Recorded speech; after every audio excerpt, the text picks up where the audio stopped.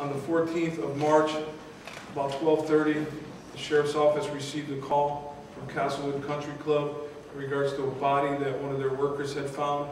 After inquiring, uh, getting an inquiry from a daughter of uh, one of the possible victims, the worker from Castlewood looked into one of the windows, saw the male subject who now today has been positively identified as Ernest F.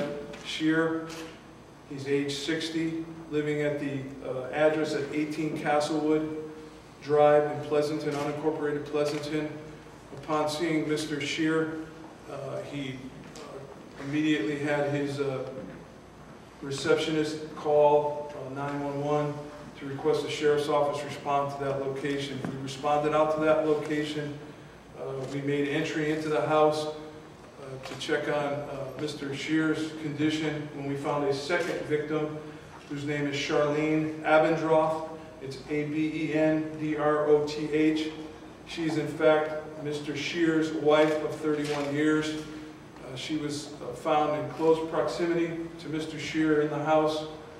Uh, I appreciate the fact uh, that everybody has been patient with us. You have to understand, however, uh, that this is in fact a double homicide. It is not a murder-suicide, it is a double homicide. At this point here, uh, we are still, today, have our crime lab going over the crime scene, the inside of the house, the outside of the house, for uh, any forensic evidence that may be located or may have been located in the house. Um, The house is uh, a two-story house. It's approximately 4,000 plus square feet. Uh, There's multiple rooms in the house.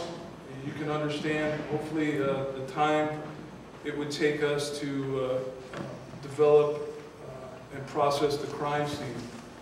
At this point here, uh, we are in fact asking anybody that may have in- information in regards to this double murder to contact us.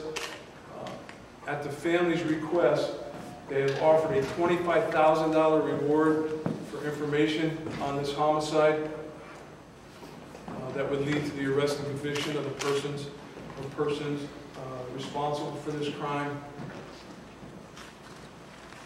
I can tell you, and I'm not going to get into too much information in regards to uh, um, particulars as far as the autopsy. However, I will tell you that both uh, victims, both Ernest and Charlene, um, were brutally beaten inside the house. At this point here, we have uh, several leads that we're looking into in regards to uh, possibly who may be responsible for this. Uh, It's at the very early stages of the investigation. Uh, My crew, along with uh, several other detectives from other uh, units, have been working pretty much nonstop on this since Friday. Um, I will uh, answer limited questions in regards to this uh, incident. However, uh, because of the integrity of the investigation, um, I may not be able to answer, uh, give too many specifics. The only thing before I take the questions is, uh, both uh, the- the Scherers uh, have requested, uh, the children of the Scherers have requested that you, the media, do not try to contact them. As you can well imagine, it is a very, very difficult time. Um, They do in fact have a son and daughter, adult son and daughter, who are devastated by this murder. Um,